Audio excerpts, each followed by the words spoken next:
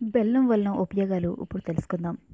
ప్రతిరోజు మధ్యాహ్నం మరియు రాత్రి భోజనం అయిపోయాక కొద్దిగా బెల్లం తినడం వలన శరీరంలో జీర్ణశక్తి పెరగడమే కాకుండా శ్వాసనాళాలు ఊపిరితిత్తులు మరియు ఆహార నాళాలు శుద్ధిపడి రక్తం కూడా వృద్ధి చెందుతుంది.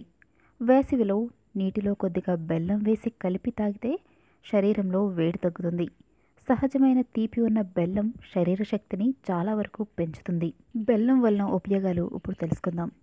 ప్రతిరోజు మధ్యాహ్నం మరియు రాత్రి భోజనం అయిపోయాక కొద్దిగా బెల్లం తినడం వలన శరీరంలో జీర్ణశక్తి పెరగడమే కాకుండా శ్వాసనాళాలు ఊపిరితిత్తులు మరియు ఆహార నాళాలు శుద్ధిపడి రక్తం కూడా వృద్ధి చెందుతుంది.